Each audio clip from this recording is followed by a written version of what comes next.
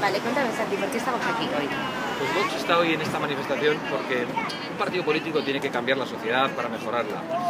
Y mejorar nuestra sociedad significa estar con los más débiles, hacer que una sociedad sea moralmente más sana, que una sociedad sea mejor, que una sociedad sea más integradora, que una sociedad toda la gente pueda vivir con más felicidad, es apostar por aquellos que tienen más dificultades. Sin ninguna duda hoy los más débiles son los niños en el vientre materno, que son sacrificados en un número de 100.000 todos los años en España.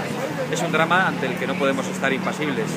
Es un drama, en primer lugar, porque es una gigantesca injusticia, es un ataque contra la vida humana, que es sagrada. Y es también eh, un suicidio demográfico para nuestra sociedad. Yo creo que tenemos que apostar por aquello que es verdaderamente importante, independientemente de que eso nos granjee apoyos electorales o al contrario, que eso nos reste votos. Los partidos políticos estamos también para defender la justicia, para defender el bien.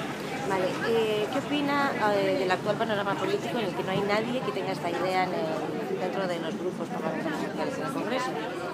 Bueno, pues yo creo que demuestra en gran medida hasta qué punto se ha desvalorizado la sociedad española con la desvalorización de sus líderes políticos y de sus oligarquías. Pero eso es lo que tenemos que cambiar. Nosotros vamos a abrir las puertas del Congreso, vamos a saltar el Congreso con la verdad para defender el bien y para defender a los más débiles y vamos a hacer que en la tribuna del Congreso haya al menos un puñado de diputados que digan las cosas verdaderamente importantes y que defiendan el derecho a la vida.